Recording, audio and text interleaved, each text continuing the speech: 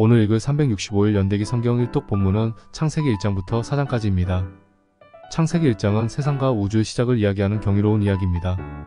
이것은 하나님의 창조의 능력과 그분의 주권을 드러내는 매우 강력하고 상징적인 장입니다. 이야기는 태초에 하나님께서 천지를 창조하시니라라는 말씀으로 시작합니다. 이 구절은 우주의 시작과 모든 창조물의 근원이 하나님임을 선포합니다. 하나님은 무에서 유를 창조하셨으며 그분의 뜻과 말씀만으로 모든 것이 이루어졌습니다. 처음에는 혼돈과 어둠만이 있었고 하나님의 영은 수면 위를 운행하고 있었습니다. 그리고 하나님께서 빛이 있으라고 말씀하셨고 그 말씀대로 빛이 생겨났습니다. 이 빛을 통해 낮과 밤이 생겨났고 시간의 흐름과 질서가 시작되었습니다. 이후에 하나님은 물과 하늘을 구분하시고 육지를 창조하셨습니다. 육지 위에는 식물과 나무들이 자라기 시작했고 생명이 풍부해졌습니다. 하늘에는 해와 달이 놓여져 낮과 밤, 계절과 해를 구분하는 기능을 하게 되었습니다. 해와 달이 생기고 나서 하나님은 바다와 하늘에 생명을 불어넣으셨습니다.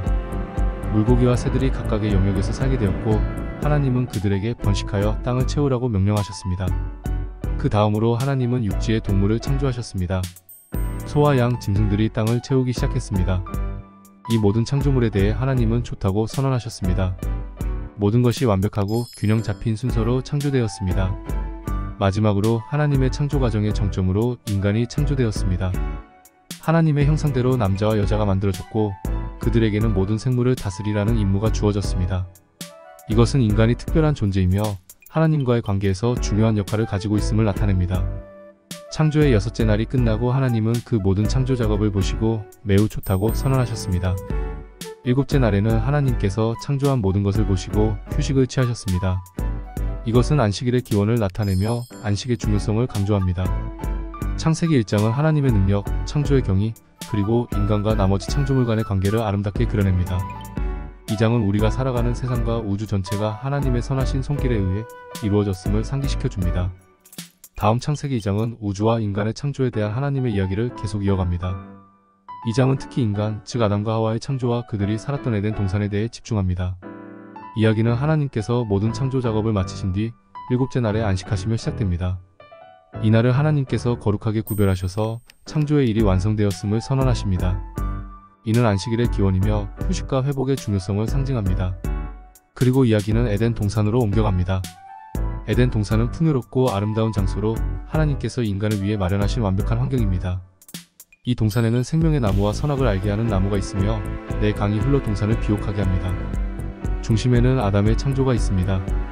하나님께서는 흙으로 아담을 만드시고 생명의 숨을 불어넣어 그에게 생명을 주셨습니다. 아담은 에덴 동산에서 살며 그곳을 돌보는 임무를 부여받습니다.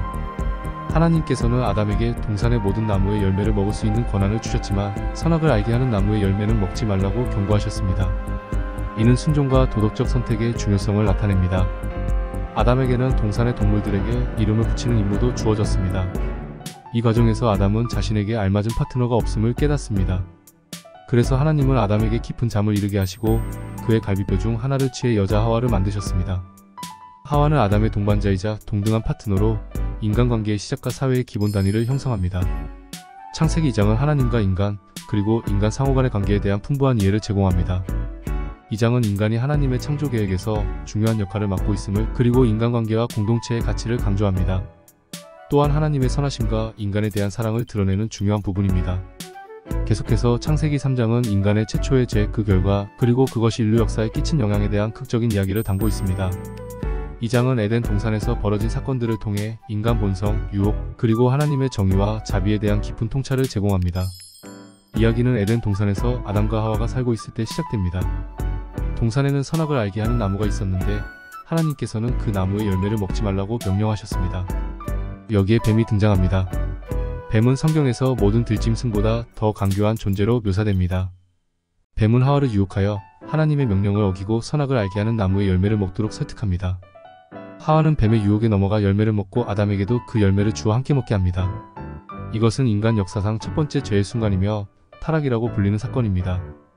그 순간 아담과 하와의 눈이 열려 자신들이 벌거벗었다는 것을 깨닫고 나뭇잎으로 옷을 만들어 몸을 가립니다. 하나님께서 동산에 오셨을 때 아담과 하와는 하나님 앞에서 숨습니다. 하나님께서는 그들의 행위를 책망하시고 각자의 행동에 대한 결과를 선언하십니다. 뱀에게는 저주가 내려져 머리를 짓밟히게 되었고 하와에게는 출산의 고통이 아담에게는 토지를 경작하며 생계를 유지하는 어려움이 주어졌습니다. 이 이야기는 죄의 결과로 인간이 에덴 동산에서 쫓겨남으로써 끝납니다. 하나님께서는 인간이 생명나무의 열매를 먹어 영원히 살지 못하도록 동산의 입구를 천사와 불타는 칼로 지키게 하십니다. 창세기 3장은 인간의 자유의식, 유혹에 대한 저항, 그리고 그 결과로 오는 책임에 대해 깊이 탐구합니다. 이 장은 죄의 본질과 그것이 인간과 하나님의 관계에 미치는 영향을 보여줍니다. 또한 이 장은 인류의 역사에 있어 중요한 전환점이며 죄와 구속의 중요한 주제를 도입합니다. 이어서 창세기 4장은 인간의 역사에서 첫 번째 가족의 이야기를 다룹니다. 이 장은 아담과 하와의 두 아들, 가인과 아벨의 이야기를 중심으로 펼쳐지며 형제 간의 갈등, 질투, 그리고 최초의 살인에 대한 깊은 교훈을 담고 있습니다. 가인과 아벨 이야기는 아담과 하와가 두 아들을 낳는 것으로 시작됩니다. 큰아들 가인은 농부가 되고 작은 아들 아벨은 양을 치는 목동이 됩니다. 어느 날 두 형제는 하나님께 제사를 드립니다. 아벨은 자신의 양떼 중에서 가장 좋은 것을, 가인은 자신의 농작물 중에서 일부를 하나님께 바칩니다. 하나님은 아벨과 그의 제사를 기뻐하시지만 가인과 그의 제사는 기뻐하시지 않습니다. 이로 인해 가인은 크게 분노하고 질투하게 됩니다. 하나님께서는 가인에게 그의 태도를 경고하시고 올바른 길을 선택하도록 권유하십니다. 그러나 가인은 하나님의 경고를 무시하고 아벨을 들판으로 유인해 그를 살해합니다. 이것은 성경에서 기록된 최초의 살인이며 심오한 비극입니다. 하나님께서는 가인에게 그의 죄를 추궁하시고 그에게 대가를 치르게 하십니다.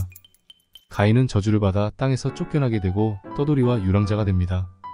가인은 자신의 처벌이 너무 크다고 느끼지만 하나님께서는 그를 보호하기 위해 표시를 하나 주십니다. 이 장에서 가인은 노 땅으로 떠나가며 가정을 이루고 도시를 건설합니다. 이 도시는 인간의 문명과 사회 구조의 발전을 상징합니다. 창세기 4장은 인간의 본성, 특히 질투와 분노가 어떻게 파괴적인 결과를 가져오는지를 보여줍니다. 또한 하나님의 정의와 자비가 어떻게 인간의 삶에 영향을 미치는지를 탐구합니다. 이 장은 형제 간의 관계, 죄와 그 결과, 그리고 하나님의 보호와 은혜에 대한 중요한 교훈을 담고 있습니다. 오늘 하루 하나님의 놀라운 창조 사역에 대해 감격하며 우리의 삶과 세상을 주관하시는 하나님을 경외하며 하나님이 우리에게 부여해주신 책임과 역할을 이해하고 감당하십시오. 그리고 우리를 유혹하는 모든 도전과 인간의 연약함을 통해 더욱더 하나님을 신뢰하고 하나님만 바라보고 가십시오. 뿐만 아니라 하나님의 허락하신 가족과 이웃을 질투의 대상이 아닌 사랑의 대상으로 섬기며 살아갈 뿐 아니라 우리의 연약함에도 불구하고 우리를 사랑하시고 함께 하시는 하나님으로 인해 오늘 하루도 감격하십시오. 여기까지가 1일차 연대기 성경 통독 내용이었습니다. 감사합니다.